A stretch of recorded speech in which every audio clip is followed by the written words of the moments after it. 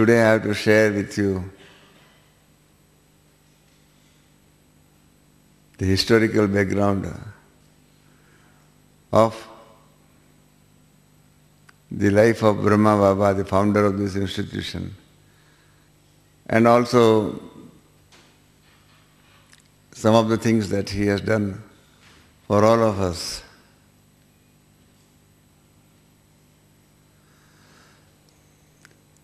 Just let me introduce our connection with this institution that will give you proper framework or background. What happened that we are coming from that Indian background. In this Indian background, you see, the male is the breadwinner in the family also. He is the sheet anchor. And the whole family depends on the male member, the head of the family. So in this my Lokik family or worldly family, my father died sometime in 1950, September 1950. He died suddenly and therefore what happened that in India you see remarriage is, in those days at least it was next to impossible. And when my father died suddenly, my mother had depression.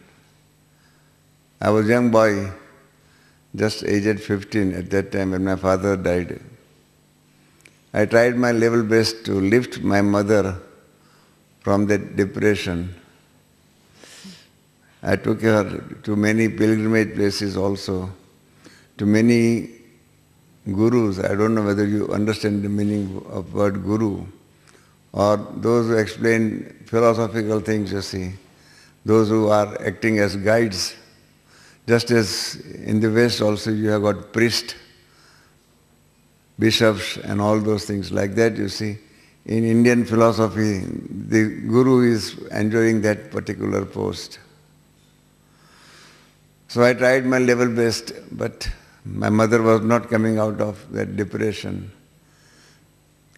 That sad feature was there, you see, because of that there was no such real peace in the family also.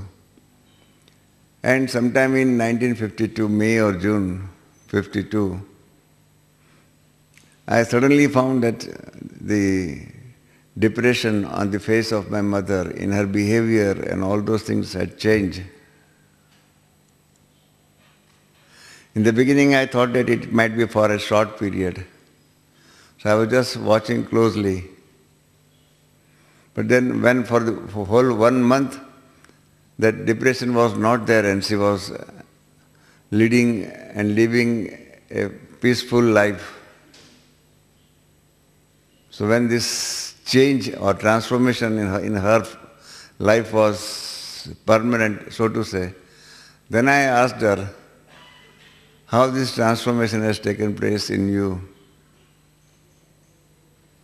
And then she told me that Brahma Kumari sisters have come from Mount Abu. I said, I have not heard of these sisters. Who are they? So my mother said, they have just come before a fortnight to Bombay from Mount Abu. And I have joined their classes and they teach that we are not a body, but we are a soul. And that is meditation, meditation of soul consciousness and God consciousness. And because of that, this depression and all those things, you see, those negative things in her life, she said that I could control myself and win over this depression. So that was my first introduction to the Brahma Kumaris. And so I told my mother that please convey to these sisters my heartfelt thanks that because of you, now there is that peace, love and happiness in the family.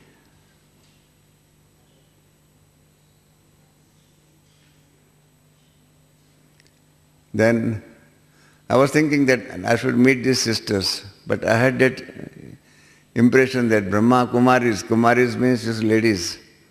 I thought it, this must be a ladies' institution.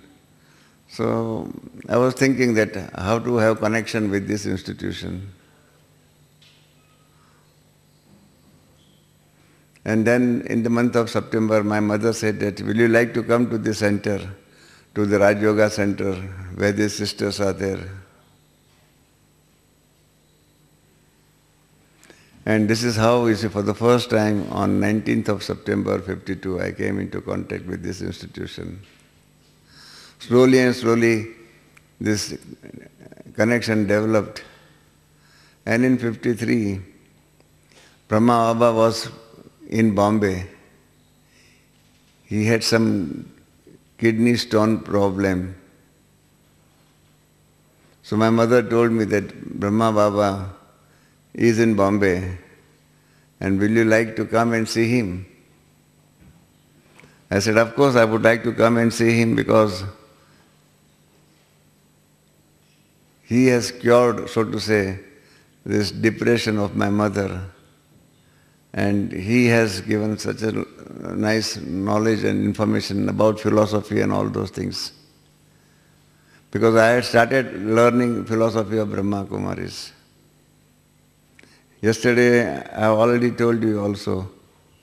In fact, Sister Margaret also has briefly introduced me that I had liking for philosophy.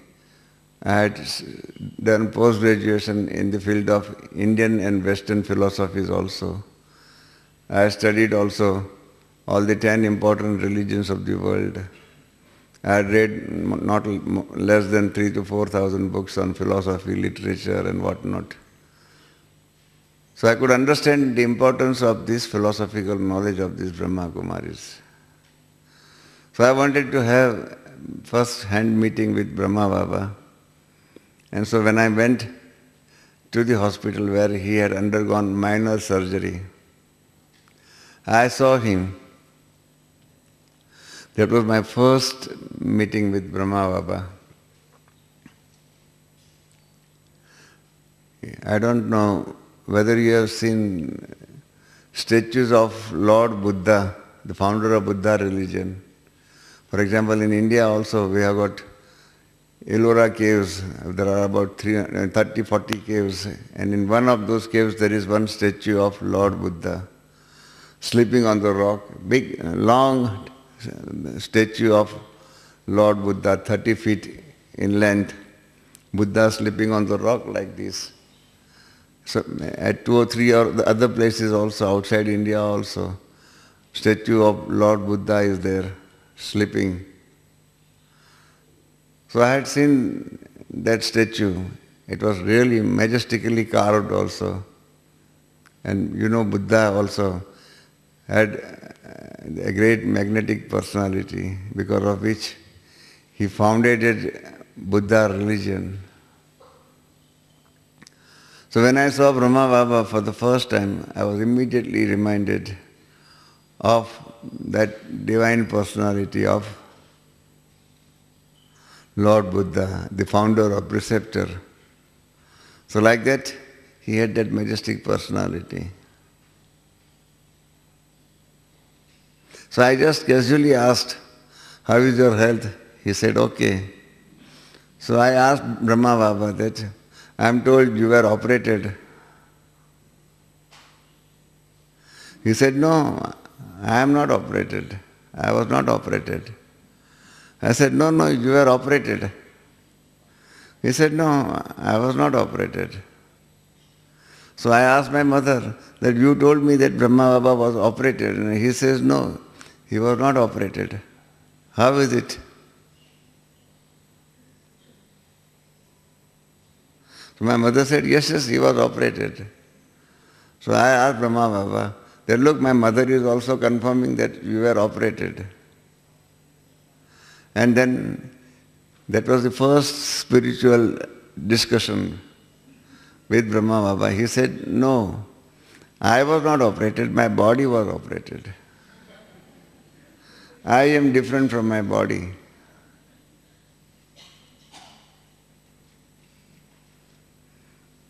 So this is how then he gave me talk for about 10, 20, 30 minutes on this aspect that yes, I, the soul is different from this body.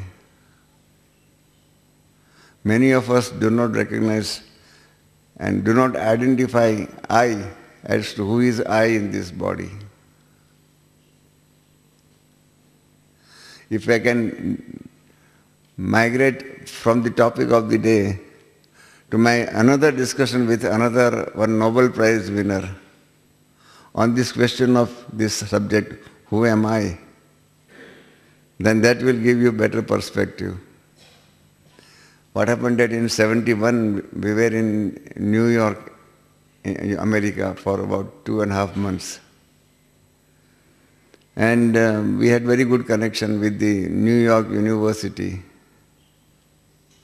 I used to go there, meet the head uh, of the philosophy department and others in that New York University. Once when I went there, that head of the philosophy department was busy. So he told me that meet one gentleman. And uh, I was introduced to him and he was introduced to me and he was a Nobel Prize winner in the field of botany. Means he was a great scientist, Nobel Prize winner. So I started chit-chatting, talking with him. And I, asked, I just casually asked, who am I or who you are? And I asked him, do you believe in soul? Soul in this body? He said, no, no, no, I don't believe the soul in this body. I said, okay. So then I said, can I ask you a few questions? He said, certainly you can ask me certain questions. So I said, I asked him, have you got motor car? You know in America, motor car is not a luxury, but it is a necessity. So he said, yes, I have got the latest model of Chevrolet car. You know, one of the hobbies, uh, one of these uh, hobbies of Americans is to have latest model of motor car. That's their hobby. So he said, yes, I got the latest model of Chevrolet car. So I asked him, are you, you and your motor car are one and same or they are different? He said, I am different. I am the owner of my motor car. It is my motor car. So I said, you are not motor car. It is your motor car. He said, yes, I know that distinction that I am not the motor car, but this is my motor car. I said, okay. So you understand the distinction between you and your motor car? He said, yes. Then I asked him this question. I put his, my hand on his legs. And I said, what is this? He said, these are my legs.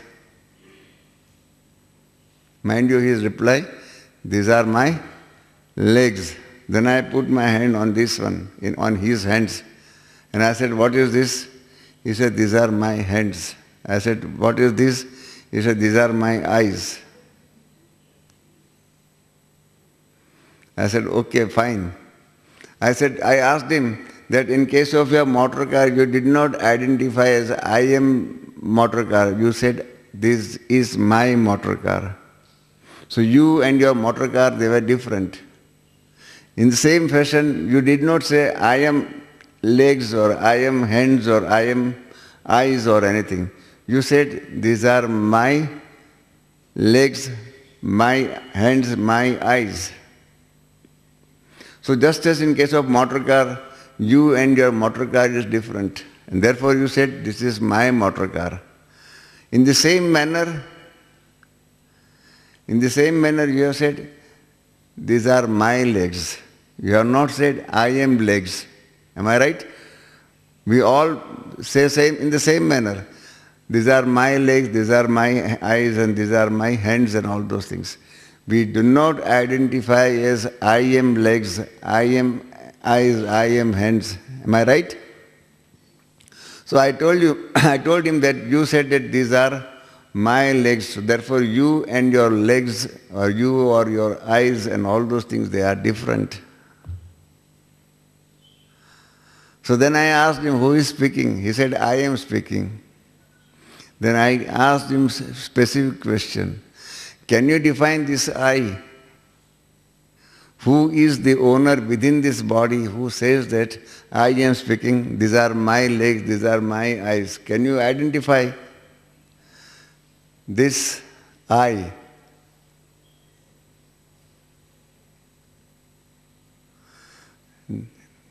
That was a big question for him. For 20 minutes, he thought and thought and thought and thought and thought that who am I? Now, who is saying that I am speaking? We all say that thing. I am speaking, I am eating and all those things. Who is this I within this body? Who claims the ownership of these legs, eyes and all those things? Just in case of the motor car, that this is my motor car. That means I am the owner of my motor car. So after 20 minutes, that Nobel Prize winner said that, sorry, I don't know who is this I in this body.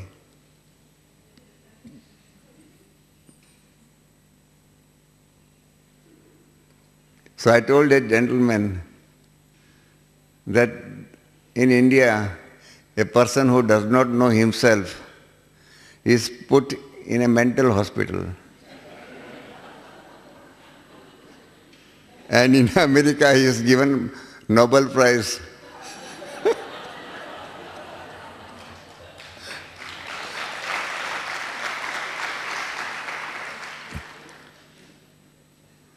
But this is a real question that most of us do not know who am I. What is the purpose of life? Long back, before 400 years, Shakespeare in the drama Macbeth has written that the world is a stage and we are all actors on it. Am I right? Those who have studied Shakespeare and the drama Macbeth, I don't know, but in, when we were in college, we had that drama as part of our English literature. So the question is, if the world is a stage and we are all actors, then the fundamental question is, if this is the stage, then where is our home? From where we have come to play our role on this stage. Just as we all say that you have come here to Gyan Sarovar, to Mount Abu, that means you are not staying here. Your home is somewhere, somewhere else, and from where you have come here. So in your mind, that identification of the place from where you have come is absolutely clear. Similarly, when the Shakespeare says that the world is a stage, he has not said that the world is our home. It's a stage. So we have just come here to play our role. And we are all actors on it. If as an actor we know what we are as an actor, but are we knowing as to who we are in reality? So the same thing Brahma Baba told me in reality on my very first meeting that I was not operated, my body was operated. So he had that very clear-cut understanding between in this duality of our existence. Duality of I the soul and this body as a costume. If we understand this duality, then what will happen? Our entire outlook will change. And this is what Brahma Baba, you see, initiated that thing. in this through this institution in this world. We have all this modern world's problem on account of body consciousness. We identify as our bodies. Because all our religions, they are based on our body. Our nationality is again based on body. Everything, our language also, we always call it, this is my mother tongue. So everything in this modern world is based on our identification as a body. And that is the real cause of everything. But if we go above body and identify ourselves as a soul, then many problems of the modern world will change. And this is the transformation which Brahma Baba brought in the society. Another transformation which he brought was regarding the conditions of women, ladies, sisters, mothers in the society.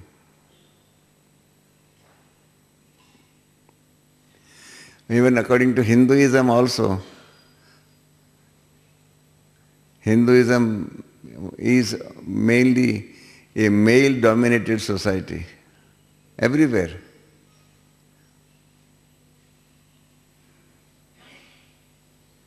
In America, for example, have you ever thought that a sister or a mother or a lady can become president of America?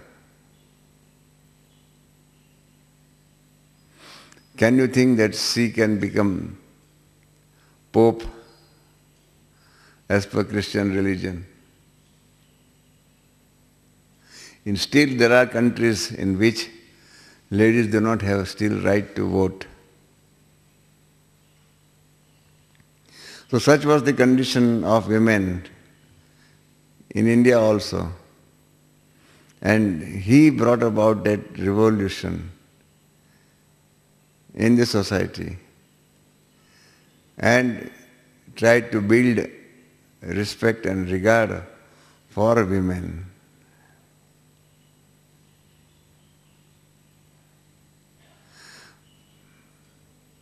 For example, it was doubtful, according to Indian condition at that time, whether a woman has right to property. Whether a woman has right to property. Until that time it was thought that women does not have right to property.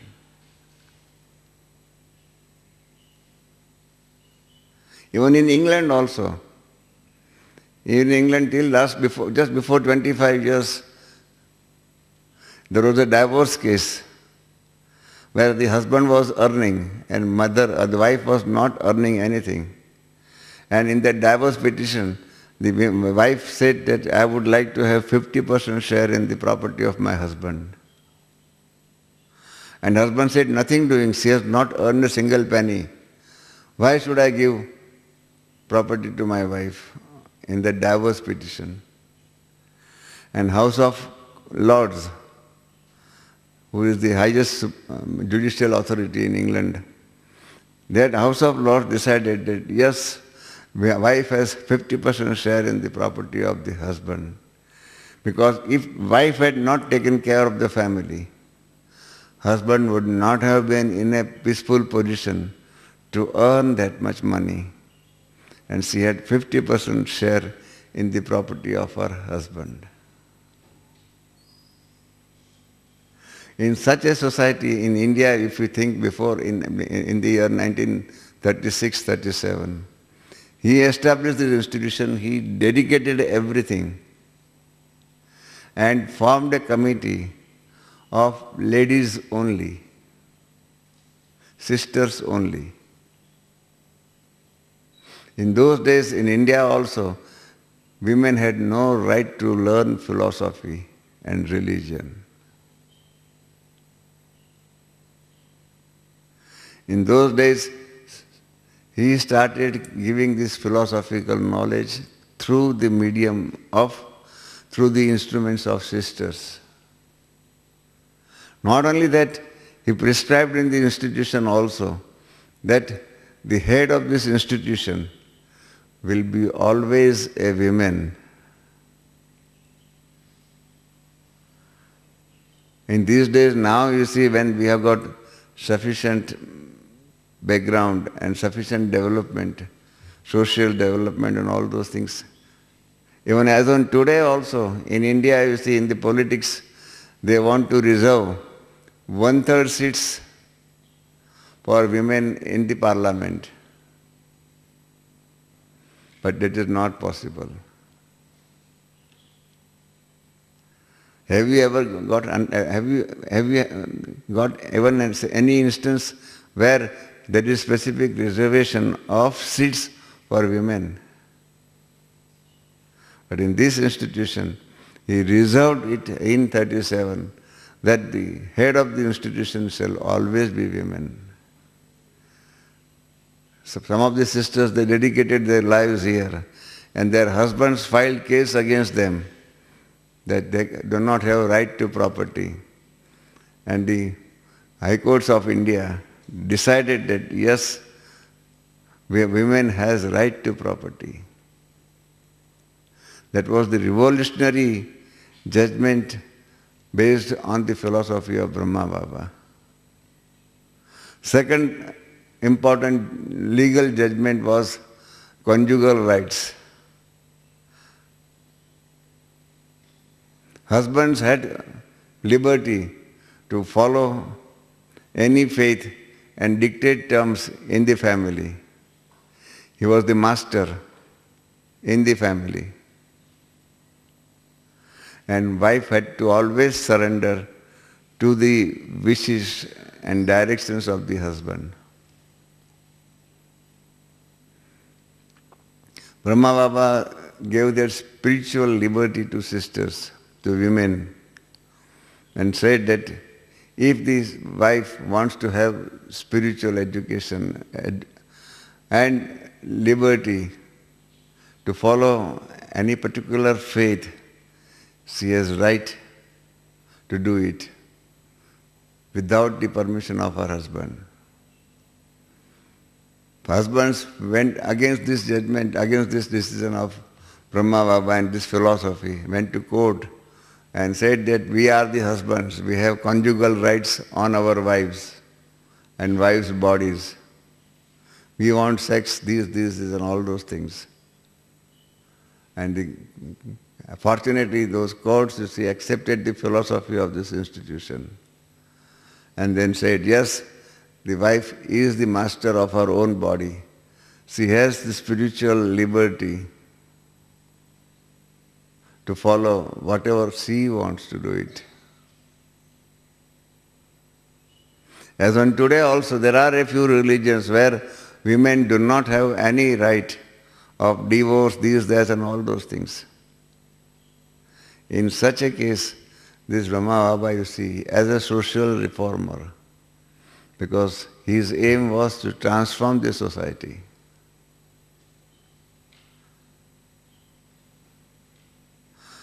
In the normal world, people do act of charity and all those things on the strength of money given by others, on donations and others' money. Brahma Baba dedicated his entire property to this institution without making reservation of a single penny.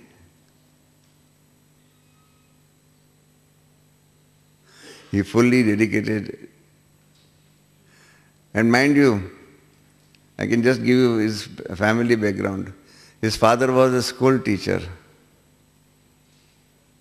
As a young boy from Karachi side, he came to Bombay and started as an employee in a jewelry shop. Jewelry shop. In those days, you see, on a monthly salary of rupees 7 only. You know, rupees 7. One rupee, one uh, American dollar is equal to 43 rupees at the moment. One British pound is equal to 85 rupees. One euro dollar is equal to 54 rupees at the moment. I am talking to you of 1918 or 1917, just before or at the time of First World War.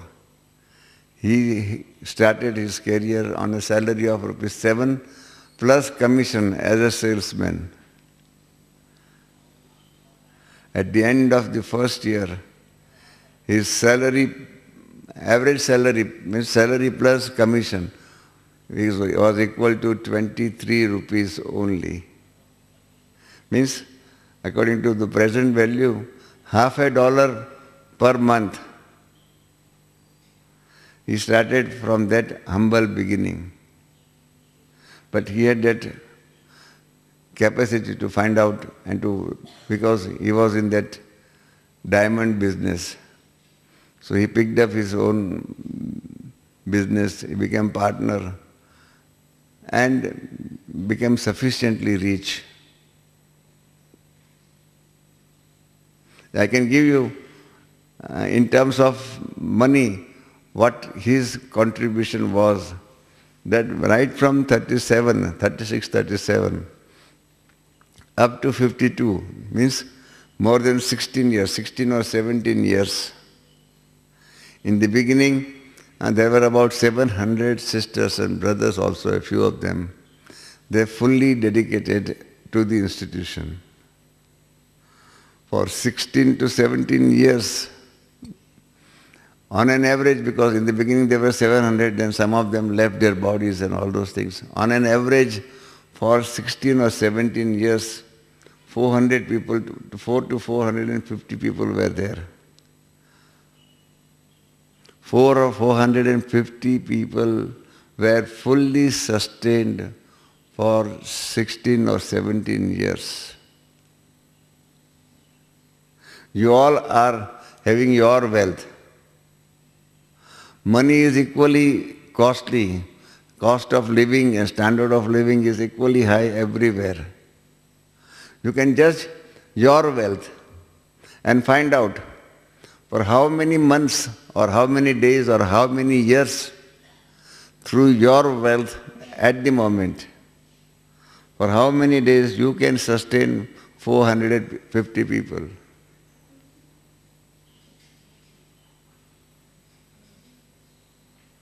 Just calculate that thing in your minds afterwards. Then you will realize the money contribution of Brahma Baba. That for 16 to 17 years minimum, he sustained the institution, he and his nephew. His nephew also surrendered. And they sustained the institution, 450 people minimum.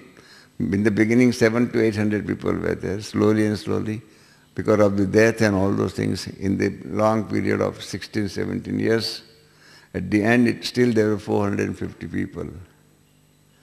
They could be sustained for 16, 17 years. That was his contribution, monetary contribution. That much wealth he earned during his own lifespan. He surrendered everything to the institution around when he was aged about 60. So he started his career at about 18 years. So in 42 years of his life, he earned so much in his business. He established very good connections with top businessmen, top, in those days you see, rich people, there were kings and so many people were there, king of Nepal and so many others also. He established very good connection, those business connections. And suddenly, you see, when he decided that he has to work for the society, He left everything, surrendered everything to the institution and started preaching.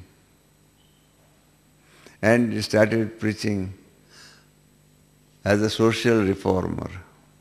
Because he said that unless and until the basics, the foundation, the foundation on which the society is existing, all those rituals, blind faith,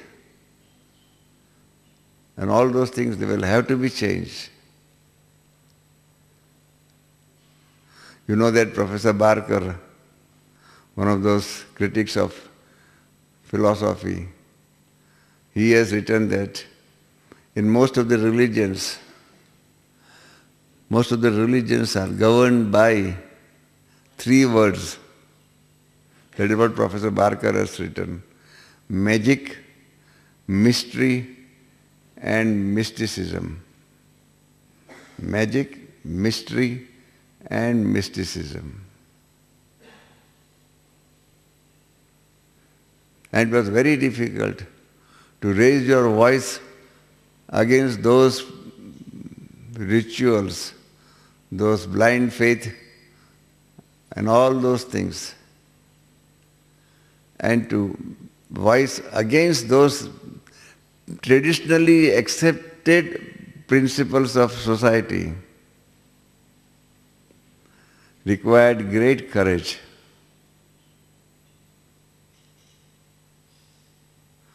Only a visionary man with 100% confidence in the self can do it. Not all. And in the beginning, Brahma Baba also had same problems. Those traditional gurus and others, they raised, raised voice against Brahma Baba. There was picketing. They said, nothing doing. You see, you cannot trust women. You cannot teach women. We, the gurus, we, the males, are the pillars of the society. You cannot challenge us. What we say is the truth.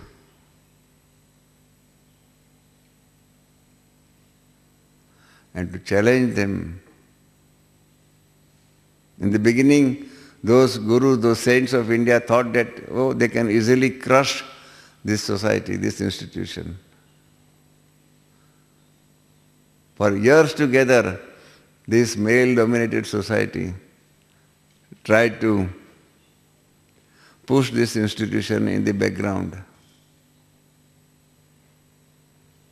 And then just before 10 years, we had invited all the important saints of India. And then they, for the first time, recognized importance of this institution. I remember uh, words of one great philosopher of Hindu religion. He said that in Hindu religion we have made mistake. In Hindu religion we made mistake that we neglected women women constitutes more than 50% of the women, a male of the total population. And women, not only in Hindu religion, but in most of the religions of the world, is neglected.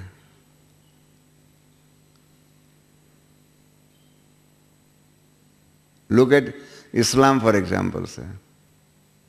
I'm not criticizing any religion, but I'm just saying that what happens in Islam, in Christianity, and many other religions of the modern world. Same thing was prevailing in India also.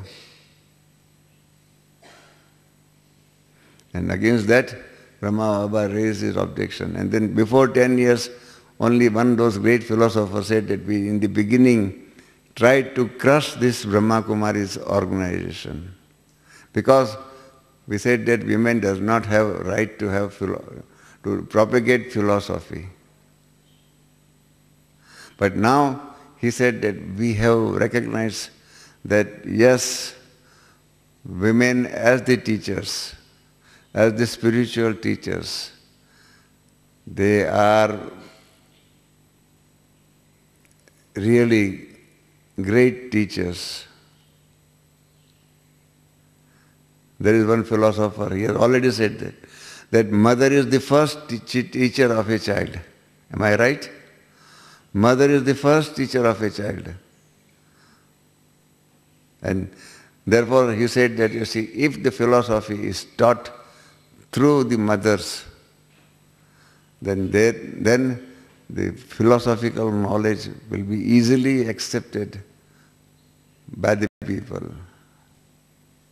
And that is what we are finding in this institution. Look at our these sisters. They have gone to so many countries of the world. They have given this message of this institution. And today most of you are here on account of the good work done by our sisters. And who are these sisters? They got the, their spiritual awakening. They got their spiritual awakening through the teachings of Brahma Baba and others in this institution.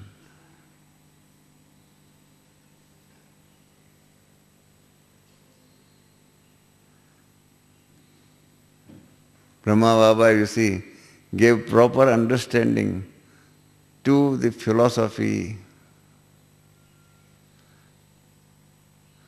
because many of you are not having background of Indian philosophy. Who is Krishna and who is Rama and what is Gita and all those things. He gave that proper background, correct picture of the philosophy and what is that importance of philosophy in our life.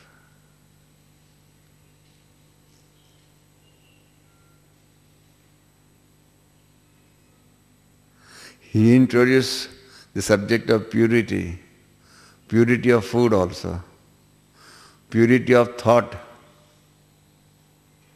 And the last thing, which is not there in the modern days economics, purity of money.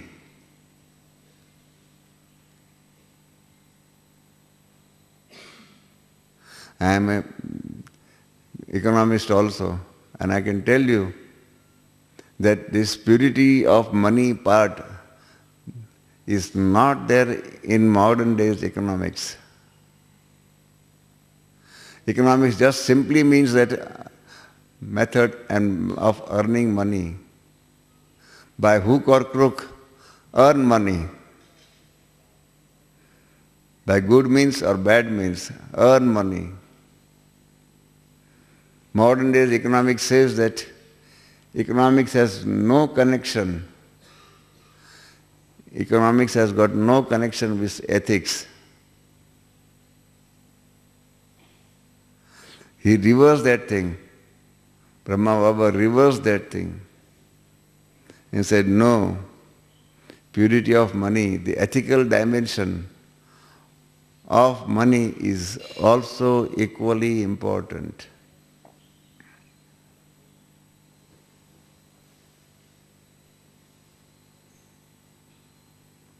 I have written one book on this subject, Pure Money Economics, but unfortunately it is in Hindi, local language, you see. I am trying to get it translated, but this pure money economics of Brahma Baba, if it is properly introduced, that will create, I would say, havoc, so to say, in the field of economics. Same thing in all of the dimensions of society also. He brought about that purity of mind, purity of thought, purity of food and all those things. Dedication. Another very important role he played, as I said yesterday also, I made it as a passing reference that if you want to attain salvation, if you want to attain perfection, then almost all religions of the world, they say that you have to leave your family. You have to leave your responsibilities. You have to be a priest or sannyasi and all those things. Then and then only you can have spiritual upliftment.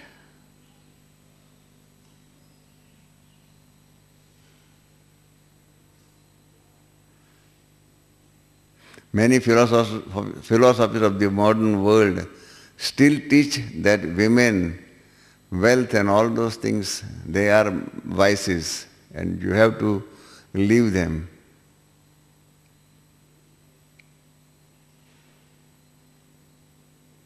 And he changed, Brahma Baba changed our outlook and said that no, these are our own weaknesses. We have to conquer our weaknesses. These vices, anger, greed and all those things. When we conquer them, then there will be that spiritual upliftment. Spiritual upliftment will not be by just renouncing the modern world, renouncing your family, renouncing your responsibilities.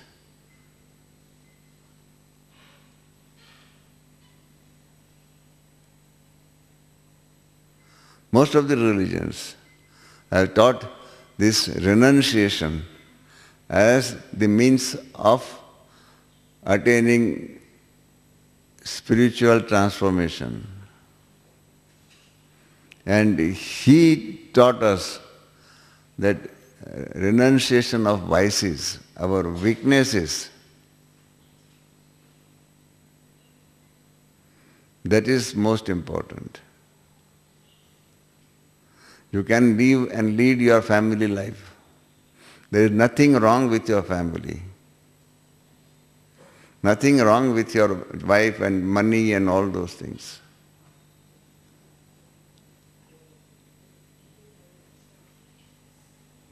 So that transformation within is most important and not the external transformation.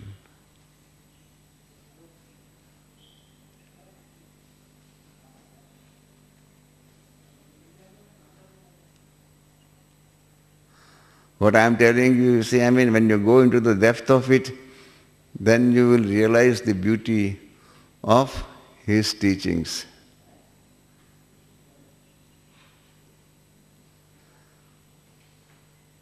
He made another important contribution. Everywhere the question is of successor. Who succeeds? Normally when you find in big cases everywhere, what will happen? In England, for example, if the Queen Elizabeth dies, what will happen?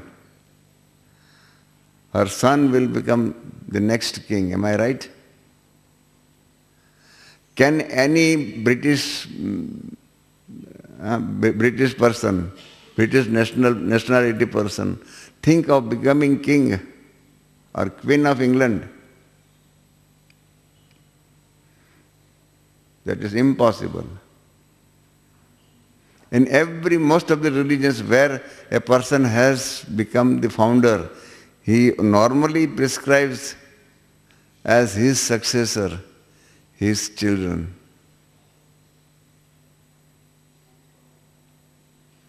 He, Brahma Baba, had his children also in this institution. But he did not prescribe them as his successors. He said that those who are able to guide the institution, they will become the heads and not the blood relation.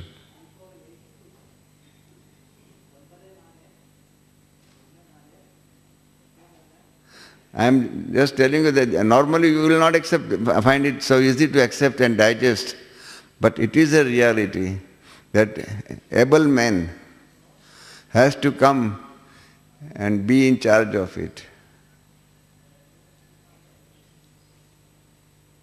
But in democracy, it has been said by Dicey, the father of modern democracy, he has written in his book that democracy rarely permits a country, democracy rarely permits a country to be governed by his ablest men.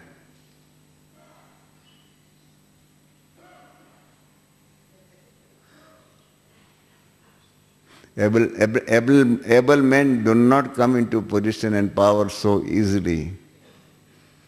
That is one of the defects of modern days democracy. But in this case of Brahma Baba, he prescribed none of his relatives, blood relations, as successors. He prescribed, at the age of 60, when he surrendered fully, he uh, prescribed Mateshwari, Mama, aged just a young girl of 18, as the head of the institution. Can anyone think of appointing a young girl of 18, not having any worldly experience, as the head of the, head of the institution? Think it over. If you are to be founder of any institution, will you trust a young girl of 18, just who has become major, to be the head of the institution. But he had so much uh, that vision and the faith. He faith he, he trusted us and he developed these abilities within us, our positive attributes or positive abilities within us by giving full faith in us.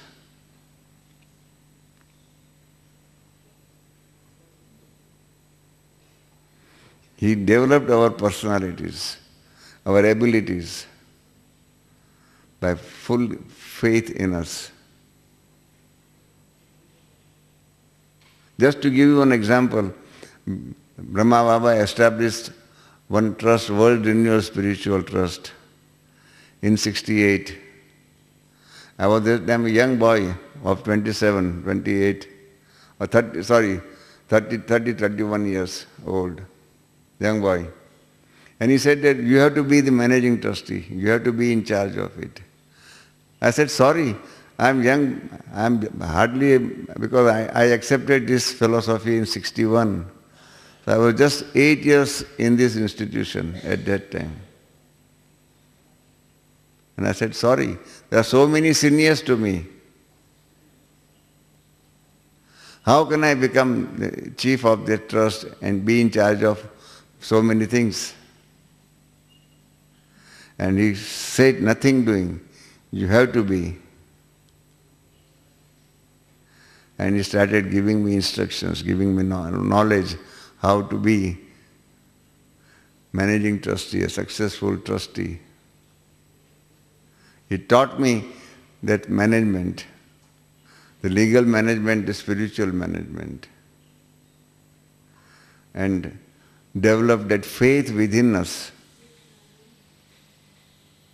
Most of us do not have faith in our own abilities. He developed that faith within us.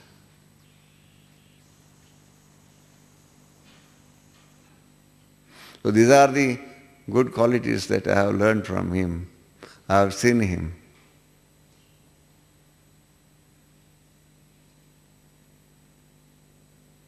And this is how the institution developed.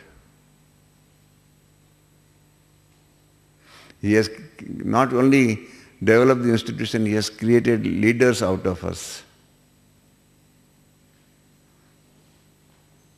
That's a very important thing. In most of the institutions, successor and uh, um, successor and capable enough successor to run and manage the show after the founder is a big problem.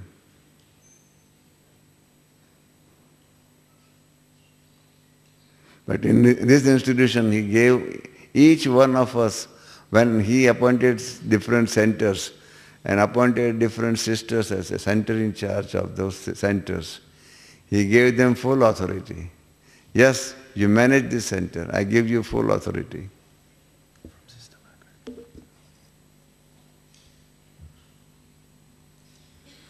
I'm just giving as an example. So like that there are so many things.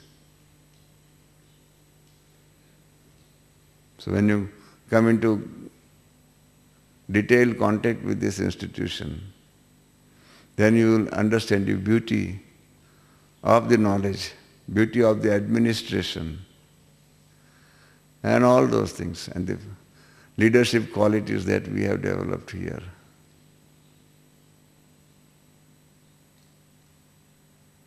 So this Brahma Kumaris is just not mere an ordinary institution, but here personality development, administrative development, and all those things are there. So many things are there, but within one period of one hour or one and quarter hours, it's very difficult to share all those fundamentals or basics of this institution. I have tried to explain you some of them.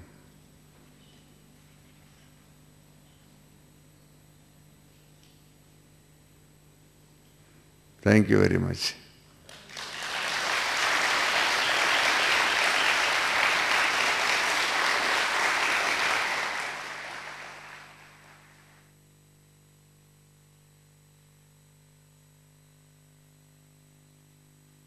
You are lucky.